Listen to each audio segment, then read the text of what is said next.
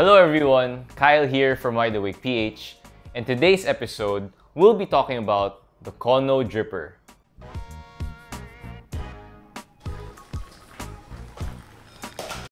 So I spotted this dripper in Greenhills Promenade a few weeks ago, and I was really, really curious to try it out. I've spotted it in many coffee enthusiast communities, forums, and chats, and you know, I was like, I'm here already, it's there, why not buy one and give it a shot? And honestly, I had pretty low expectations buying into this thing. I'm really skeptical when it comes to coffee equipment. Um, I find that there's a lot of marketing jargon, a lot of promises made, but not not all the products in the market live up to the hype or to what their ads say about the product. So uh, when I bought it, I wasn't that excited. But on the flip side, I'm always excited to try something new with with my coffee, with, with like with my coffee experience. So the moment we got home, I brewed up uh, Brazil Veloso, one of our favorites here in Team Wide Awake.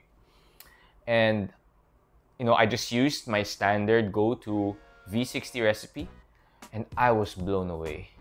I was like, what the hell? Why does this coffee taste so good? I was stumped. So I took the time to find out what was going on in my brew and why my first brew tasted so good with the Kono dripper. So that's what we'll be talking about in this video.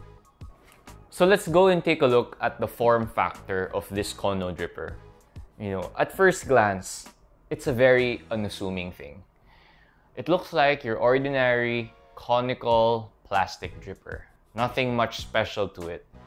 But when you take a look closely at the inside of this brewer, you'll notice that there are no ribs here on the side of the walls of the Kono. And that they only placed the ribs here, deep on the inside of the dripper. So what does this mean and how does it affect our brew? Well, this means that when you place a filter paper on the Kono dripper, it will create a suction or a vacuum seal all around the upper portion of the dripper. And what this means is that water and coffee will not pass down the sides of the dripper. This means that this dripper increases the probability of an even extraction just because it removed the ribs from the sides. But of course, additionally, the dripper does have ribs in the bottom area of the of the dripper. And what that does is it still uh, gives it a decent flow rate so that the total brew time won't be so long. You know, you won't have to wait four minutes just to make 280 to 300 ml of, of coffee.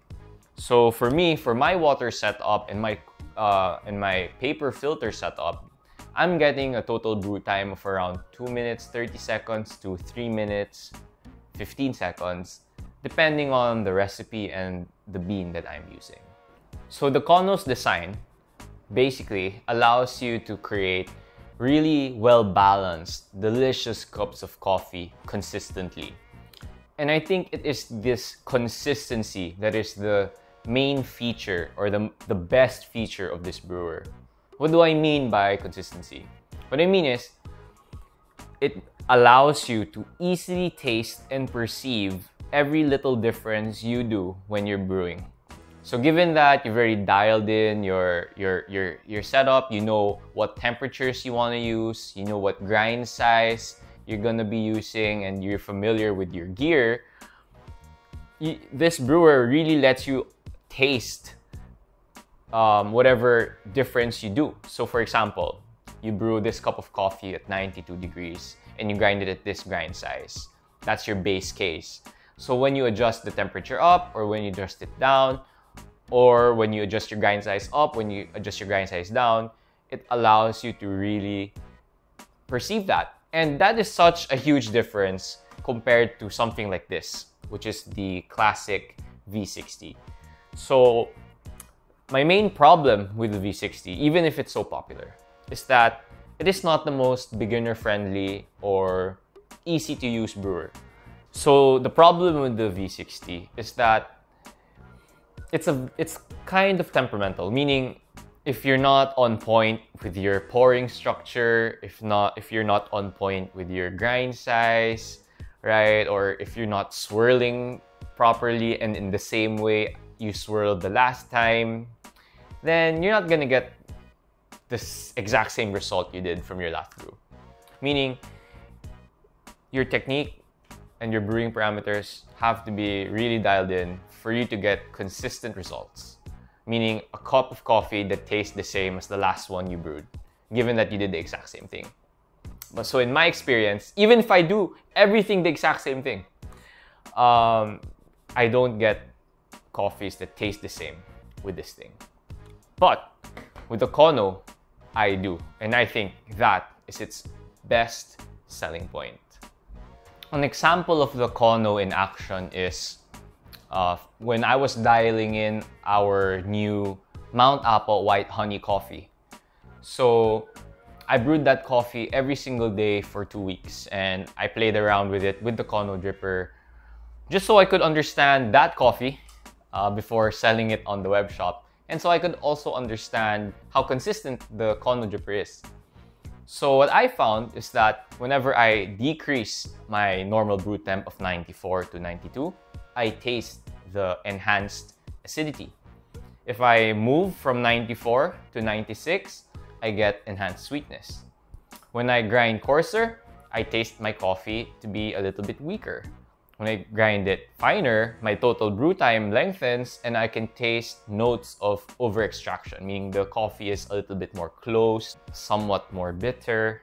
I've also been playing around with the brew ratios. So I typically go for a moderate 1 is to 16 brew ratio.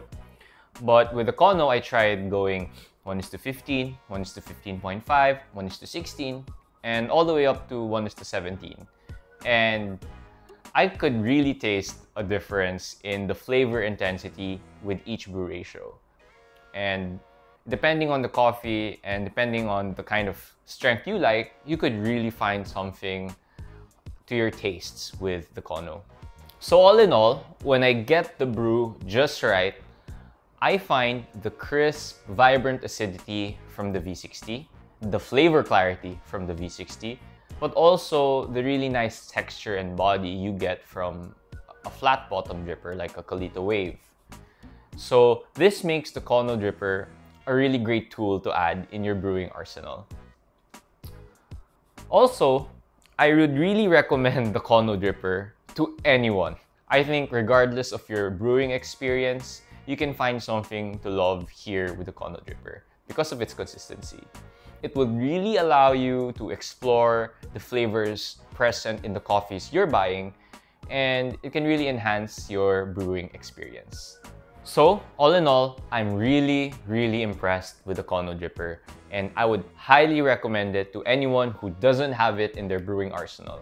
But I would also most especially recommend it to people who are new to coffee and are kind of intimidated with all these drippers that you can find in the market and you know the relatively high skill level you need to make the most out of a V60. This will be your best friend.